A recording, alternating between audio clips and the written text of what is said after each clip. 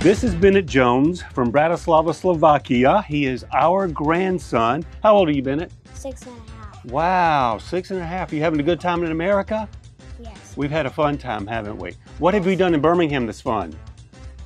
We have been to. Talk a little louder. We've been to the, We, we've been to the McWayne Center. McQueen Center. Yeah. What about that garden? What garden was that? And the mechanical. The garden. mechanical garden. We had a great time there, didn't we? We've had a good time. But people may not know that you can speak two languages, right? So I'm going to tell you I can speak some Slovak too. Guess what? You know what a can you say panda? I can say panda in Slovak. Panda. Panda. See, I can do that. And I can also say, what's another word that I can say?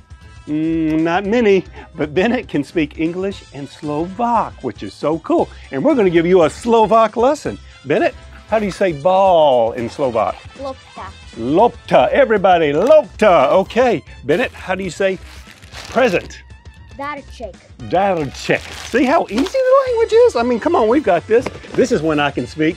How do you say this in, in Slovak? Lego. Lego. See, I'm bilingual too. Who knew?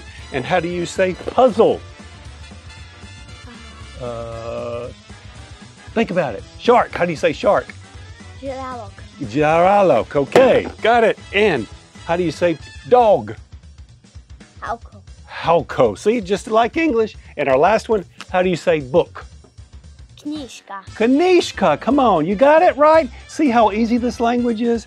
He's been doing this, he's been speaking Slovak in the house. I'm sorry, English in the house, Slovak outside of the house. See how those brains work if we just introduce them. I love that, and I just wanted to show off my grandson Bennet. Can you say bye? A- Ahoj. Ahoy! There we go.